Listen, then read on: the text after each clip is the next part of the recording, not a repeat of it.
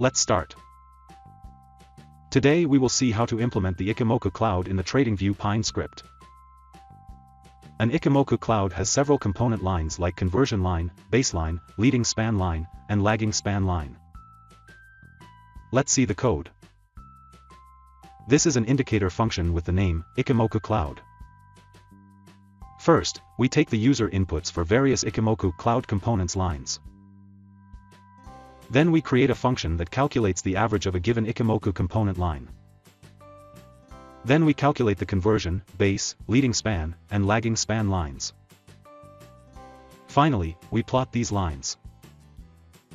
Also, we color the area between the leading span and lagging span lines. Let's add this indicator to the chart. This is our Ichimoku Cloud indicator. So that's it. That's how you can create an Ichimoku Cloud in the TradingView Pine script. Thank you.